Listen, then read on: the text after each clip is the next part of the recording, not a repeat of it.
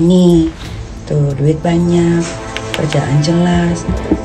Mau dibilang politik apa tuh? Bersalah bersalah ya nggak apa-apa yang penting kan di penjara. Kampungan ya. Yang nggak berkelas. Karena gue itu sudah taraf internasional. Nggak level berantem sama lo.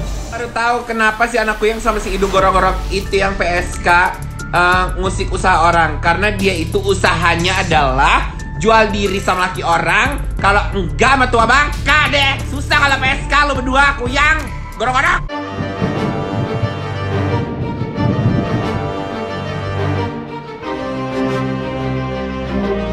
Good morning, pagi-pagi makeup karena hari ini syuting brownies live sama brownies jalan-jalan. Jadi dua ya, sibuk ya.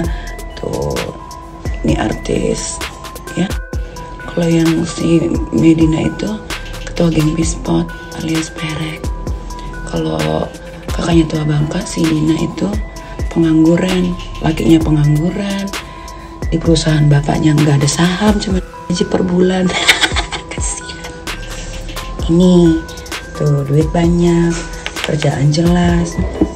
Mau dibilang politik apa tuh bersalah bersalah. Ya nggak apa-apa, yang penting kan nggak di penjara. Maunya kan sih di penjara, tapi nggak bisa. Lawan Nyai aja nggak bisa. Gimana lawan yang lain? Ya, payah. Makeup dulu ya. Sebelum berangkat syuting brownies nanti live jam 12.30 pakai skincare nih kita medani dulu ya supaya muka ini cerah bersinar gak kayak si geng pispot yang kisut apalagi si Dina kakaknya si tua bangka yang udah kalah telep nih buka tuh kulit dirawat ya biar cakep shiny moist tuh. Di kita Mirzani skincare tuh emang paling best dicobain aja dibuka nih kita Mirzaninya sendiri. Ya kan? Kita langsung tuh jam. Jangan lupa nonton brownies 12.30 di Trans TV ya live sebentar lagi. Nah, ketua geng Pispot, hidung gorong-gorong sama Dina, Cikengunya, anaknya kolong melarat yang udah Miss Queen. Nih yang cocok nih stikernya atau filternya. Freedom, Freedom bebas bukan kondom.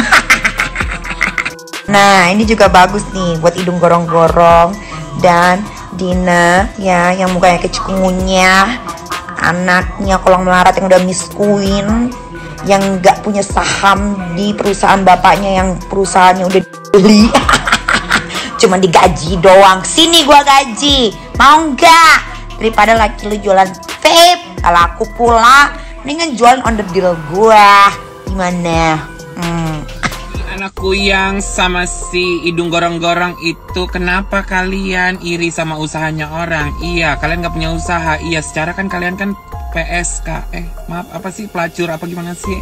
Duh gorong-gorong sama kuyang sama-sama pelacur diem deh. Tahu kenapa si anak kuyang sama si Idung gorong-gorong itu yang PSK uh, ngusik usaha orang? Karena dia itu usahanya adalah jual diri sama laki orang. Kalau enggak sama tua bangka deh. Susah kalau PSK lu berdua kuyang. Gorong-gorong Hai lampir hidung jambu. Gue udah gak mau ngeladenin lu bukannya gue takut sama lo karena gue tuh gak level berantem sama lo kampungan ya. Yang gak berkelas. Karena gue itu sudah taraf internasional. Gak level berantem sama lo lampir hidung jambu yang penuh plus kalau mati lu akan meleleh mencair. Kesian lampir hidung jambu. Kamu itu adalah terdakwa. Terdakwa bersalah.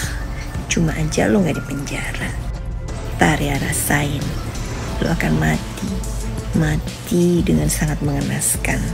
Ya ini kata-kata gue inget mau tolol lo pada udah gue bilang ya gak akan gue kasih senang terlalu lama. Masih aja nggak belajar. Ada lagi sok-sokan kopi army lah segala macem. Itil mana ada yang bisa numbang gue. Puas nah sekarang sekarang gue kalau merong-merong di akun ini aja. Yang itu buat akun jualan sama promosi bisnis gue. Nih kalahin dulu second account gue. Sampah.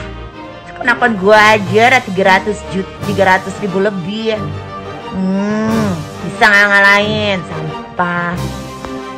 Eh kakaknya konglomerat ya. Itu fakta persidangan bukan berkas. Kalau ada yang salah, yang salahin adek lu. Kenapa nggak lu gebukin tuh adek lu yang cowok, yang tua bangka? Dari lu ngurusin kasus persidangan gue yang sebentar lagi kelar Mending lu urusin rumah tangga lu. Laki lu tuh tukang selingkuh. Udah lu fokus aja jual vape Ya, kalau nggak punya duit, datang ke gue, nggak usah cari ribut melulu.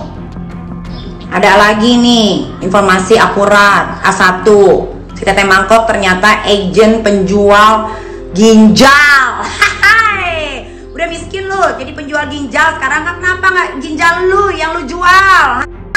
Kalau nggak punya duit datang kemari. Nih hartanya banyak ya. Biar digemanin orang juga. Tetap stay Artis.